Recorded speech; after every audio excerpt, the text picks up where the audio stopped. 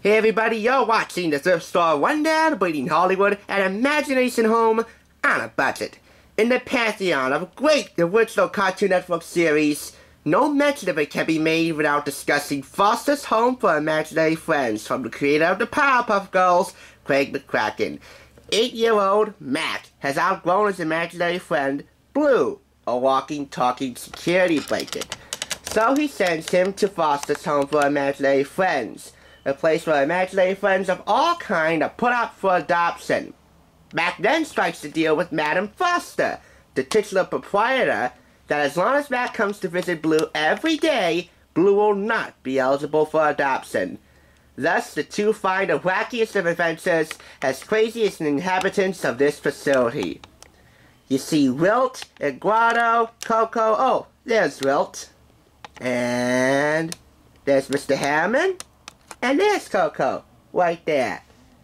There's also Goo and Cheese, Jackie Khones, and Duchess. Her Royal Highness Duchess Diamond Persnickety, the first, last, and only. I fell hard for this show, as hard as Mac fell for Frankie and Frankie My Dear. Craig McCracken was really onto something here. He struck magic. Not in the same way he did with the Powerpuff Girls. Now believe me, that was good, but in my view, it doesn't hold a candle to Foster's Home for Imaginary Friends. As soon as I saw it, I was definitely smitten, and I watched it all the time. In the pantheon of my personal favorite Cartoon Network series, Foster's Home for Imaginary Friends is definitely number one in the top five. Number two would be Codename Kids Next Door. Number three is The Grim Adventures of Billy and Mandy. Four is Ed, Edd and Eddy. And five is Camp Lazlo. I also like my partners a monkey and Chowder. But Foster's definitely earns the gold medal here. I got its puzzle for 99 cents.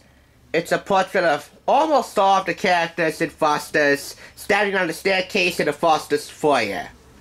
It took 4 hours to complete and it cost me 99 cents. But it was 4 hours and 99 cents well spent. Plus, this is the first time we've ever done a puzzle on the thrift store rundown.